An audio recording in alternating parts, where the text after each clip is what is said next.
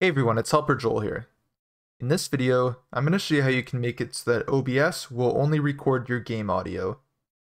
So all I have to do is go to your sources, and then go down and select the little plus icon to add a source. From here, you're going to select the application audio capture.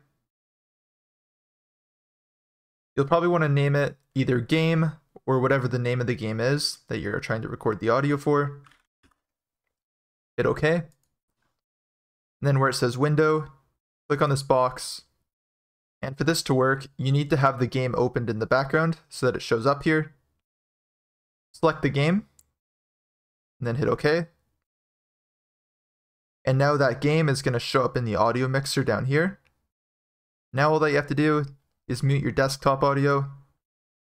And if you want your microphone muted as well, you can mute your microphone. But after I've done that, the only audio that is now being recorded by my OBS is my game audio. I hope this video helped you guys out. Please remember to like and subscribe.